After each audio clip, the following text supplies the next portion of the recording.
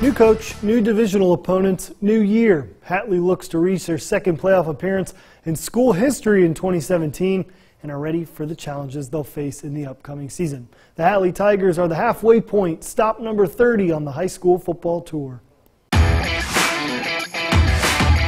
WCBI 60 Schools in 60 Days is brought to you by Toyota, Let's Go Places, and Emerson Animal Hospital, where your pets are family in West Point.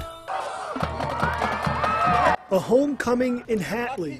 First year head coach Ken Adams returns to Mississippi after spending 24 years coaching in Alabama. The Fulton native looks forward to making an impact closer to home. This is an area that I wanted to be in, and uh, it, was just, it was fortunate, I guess, for me um, that the job come open and I was able to get back. Coach Adams is an intense guy that expects a lot out of us, and I believe he brings the most out of us. Adams will lead the Tigers into a new look Region 4 3A, which adds Houston and Choctaw County into an already uber talented region. They're athletic. I mean, I said it's, and most of the teams in our in our region, you know, is the same way. And uh, but our kids, I said, our kids have. I've been impressed with how they work. Uh, I've been impressed with, you know, I said they, you know, they from the day from the first day I came on campus, you know, I said they they've been willing to learn and and uh, I said their, their work ethic is there. You know, we just got to continue that. We got to focus on our game and not play other teams' football and play Hatley Tiger football. I seen all these guys behind me putting a lot of work, and I think we can we can make it far.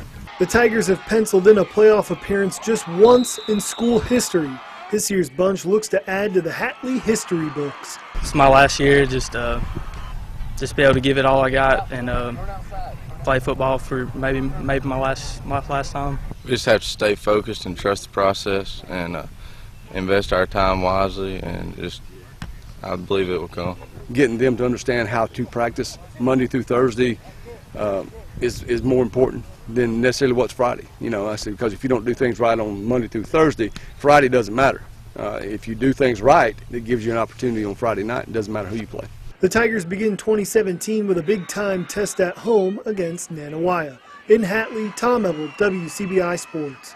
60 Schools in 60 Days with Hatley High School was brought to you by Monroe County Farm Bureau, Holloway Body Shop, Cleveland Moffett Funeral Home, and American Controls Technology Incorporated.